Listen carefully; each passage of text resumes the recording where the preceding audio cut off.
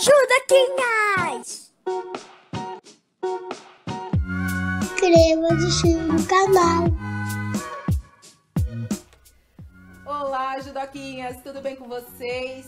Eu sou a Sensei Pati e eu estou aqui mais uma vez para a gente fazer um vídeo de estudos sobre o judô. E hoje eu quero começar fazendo uma pergunta para você.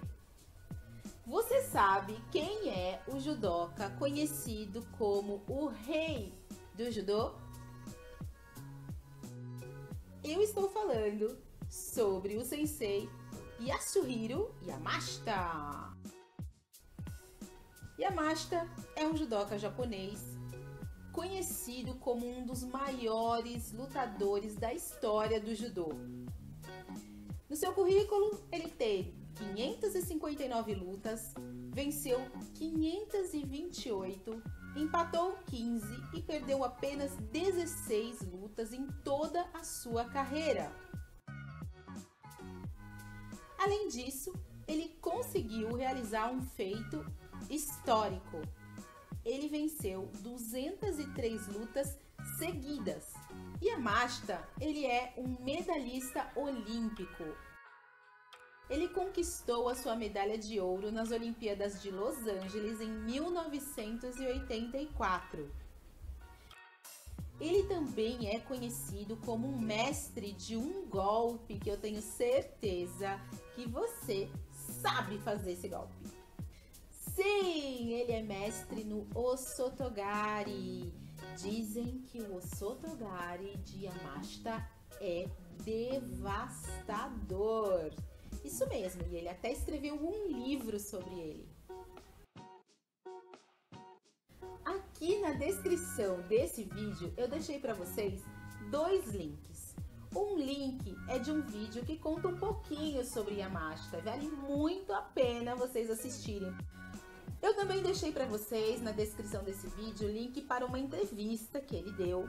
E nessa entrevista ele fala coisas muito importantes. Veja só o que ele fala. Mais importante do que vencer uma luta é perseguir o golpe. Você quer entrar golpe, você quer derrubar com golpe perfeito. Esse é seu plano. E vencer vai ser uma consequência disso. Outra dica de ouro que ele deu é que você não pode lutar ficando na defensiva. Você tem sempre que adotar uma postura ofensiva, uma postura de ataque, estar com uma postura corporal que te permita fazer contragolpe. Ele também disse que nós temos que valorizar o nosso oponente. Agora eu quero falar sobre a atividade que eu deixei para vocês, inspirada numa super dica da, do vídeo que eu deixei o link para vocês assistirem aí. E a Mashita conta que quando ele tinha 14 anos de idade, ele tinha um sonho. O sonho dele era participar das Olimpíadas.